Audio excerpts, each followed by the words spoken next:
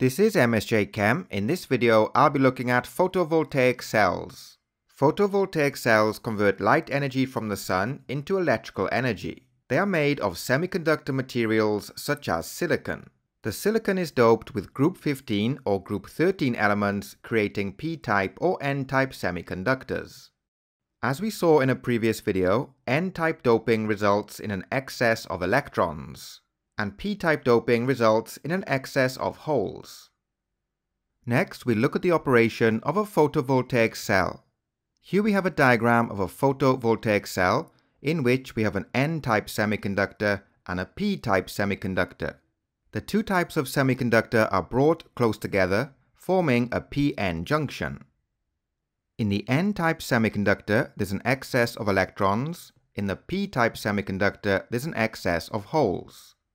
Electrons diffuse across the p-n junction from the n-type material to the p-type material, creating positive charges in the n-type material. So here we can see an electron diffusing across the p-n junction, forming a positive charge in the n-type semiconductor. Holes also diffuse across the p-n junction, creating negative charges in the p-type material. So here we can see a hole diffusing across the p-n junction, creating a negative charge in the p-type semiconductor.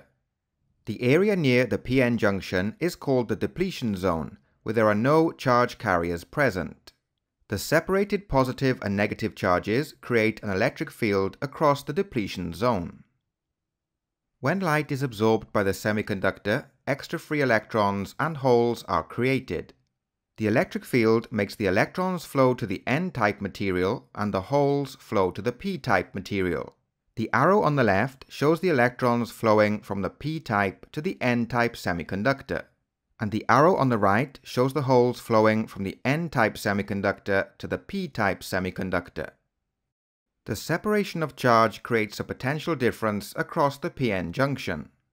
Electrons flow through an external wire to the p-type material to unite with the holes, producing an electric current. So here we can see the electrons flowing from the n-type semiconductor to the p-type semiconductor. This process continues for as long as the cell is exposed to sunlight.